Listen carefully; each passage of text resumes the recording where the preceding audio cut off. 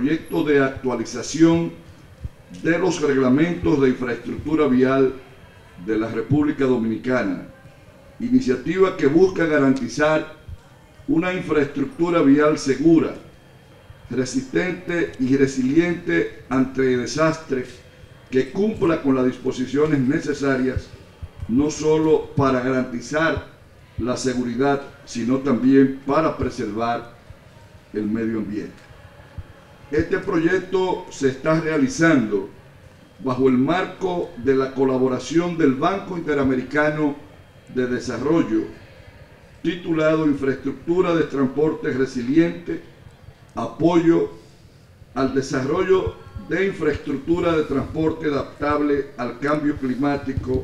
Es importante destacar que en el día de hoy estaremos presentando básicamente seis reglamentos. Tres reglamentos para carreteras y tres reglamentos para puentes.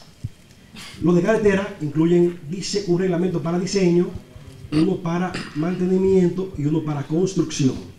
Y los de puente por igual. Entre 2016 y 2017, más de 20 componentes mayores de la infraestructura vial tuvieron que ser reconstruidos para mantener la conectividad de la red de transporte. Los daños reportados ascendieron a más de 400 millones de dólares, de acuerdo con datos del Ministerio de Obras Públicas y, Comunicaciones. Perdón.